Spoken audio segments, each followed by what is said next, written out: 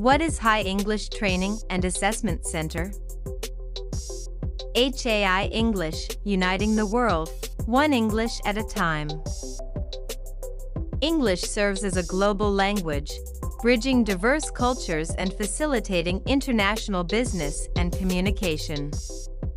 In the Philippines, English is an official language and widely spoken, yet not all citizens, especially those with limited access to education, are proficient. Addressing this gap, HAI English, Helping All Improve English, was founded in 2012. This institution focuses on enhancing English language education by offering training, seminars, and conferences for teachers.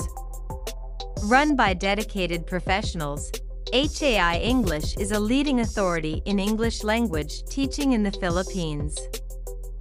Its core objective is to elevate English teaching quality by providing professional development opportunities for educators. Through diverse programs covering topics like classroom management and grammar, the organization empowers teachers to refine their skills and techniques.